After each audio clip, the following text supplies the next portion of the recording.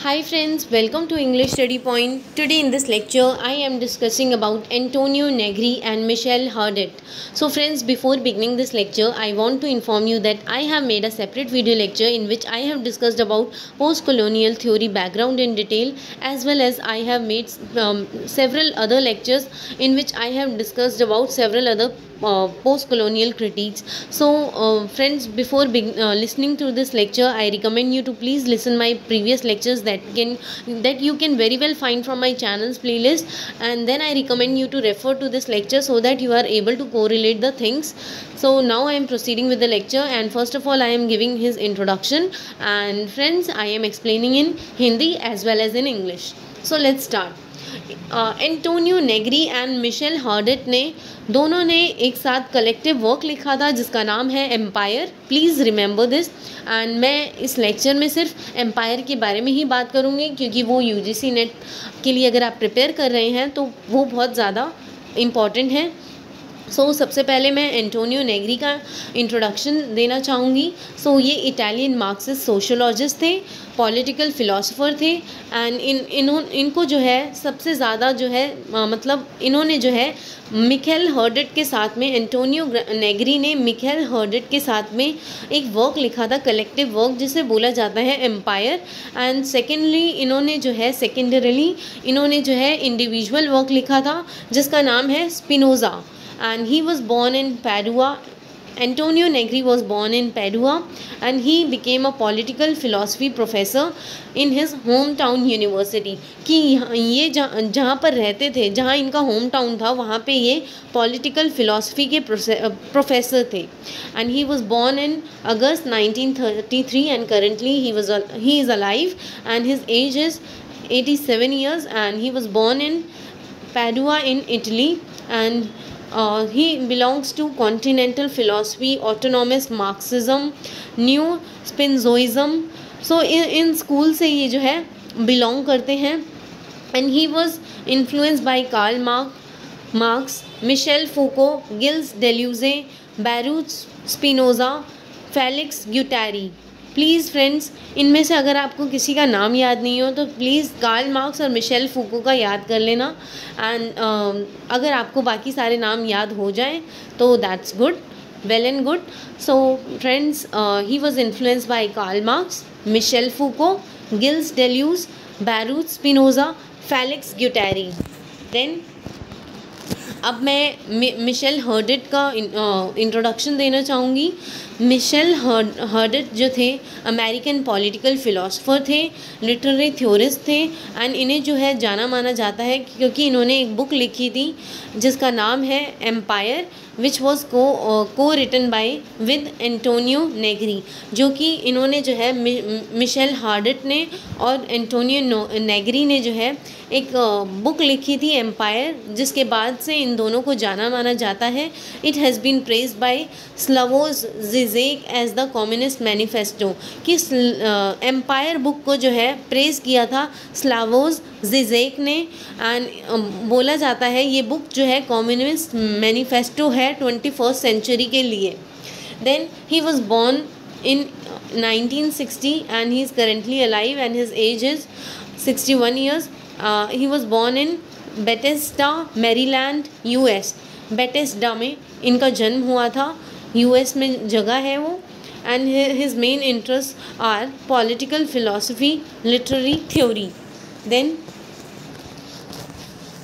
अब हम बात करेंगे इनकी एक बुक है जो कि जिसका नाम है एम्पायर जिसमें इन्होंने कॉन्सेप्ट बताया है एम्पायर का।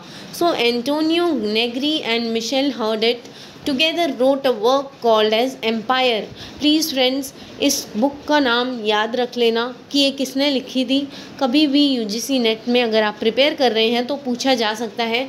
Antonio Negri and Michael Hardt ने दोनों ने साथ में मिलके एक बुक लिखी थी एम्पायर एम्पायर को ये कहते हैं कि पोस्ट मॉडर्न कॉन्सेप्ट कंस्ट्रक्ट है। यानी मॉडर्निज्म के बाद आया हुआ है। पहला मॉडर्निज़्म आया, उसके बाद पोस्ट मॉडर्निज़्म आया तो ये जो है एम्पायर को कहते हैं, ये पोस्ट मॉडर्न कंस्ट्रक्ट है, यानी मॉडर्निज़्म के बाद आया। Then there are certain organization companies in the world countries in the world कि इनका कहना है कि बहुत मतलब इस यहाँ मतलब इस वर्ल्ड में बहुत सारी ऑर्गेनाइजेशन है कंपनीज़ है कंट्रीज़ है, जो कि ग्लोबल वर्ल्ड को डोमिनेट करने की कोशिश कर रही हैं।